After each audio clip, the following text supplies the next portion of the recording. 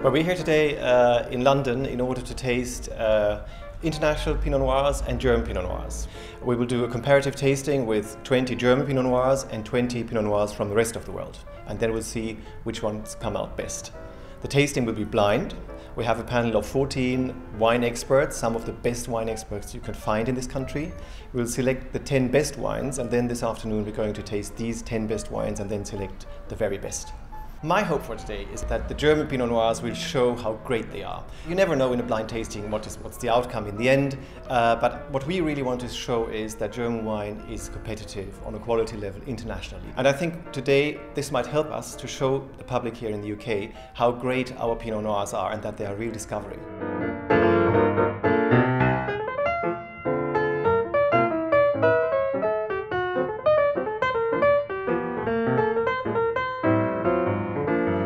What's now? We've just typed in all the results of the first round, uh, and the results were very good when I look at the average scores, and I think we're going to get really good wines now.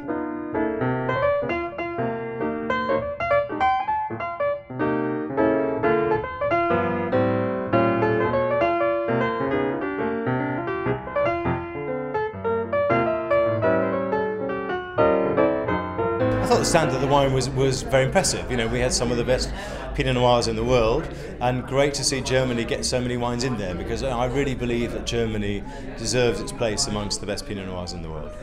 The fact that seven out of ten of the first wines were from Germany are that's just amazing.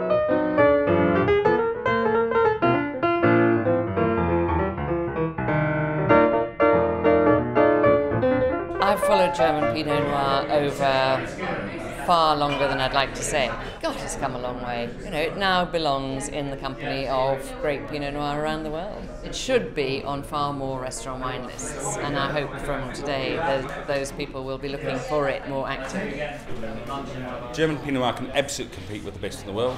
Certainly on the strength of today's tasting, where we were doing it blind, um, we were encouraged not to think about where these wines came from, and the Germans had a very, very good result. So I would definitely think about those in terms of my professional work, doing restaurant wine lists. I would definitely think about German Pinot Noir. The German Pinot Noir I enjoyed most, and, and a guy who got two Pinot Noirs in the top 10 was a producer called Ziereisen uh, from Baden. I think this guy has got a massive future, a superstar for me.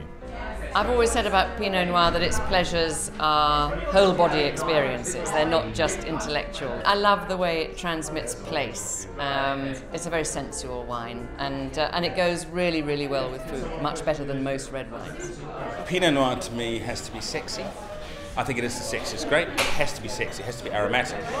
But also in the mouth, it's fleshy, it's plump, and it has freshness and vivacity. I think that's what you want from Pinot. I really do think that German Pinot Noir has a chance uh, in the UK market. There are quite a few already represented. Even uh, the winners from Germany, most of them are already represented somewhere here. But we have to spread the word further. Uh, specialists, specialists, journalists, sommeliers, they know already about German Pinot Noir, but that's just a very small portion of the population, and I think um, we still have to work on that, and today was a good start.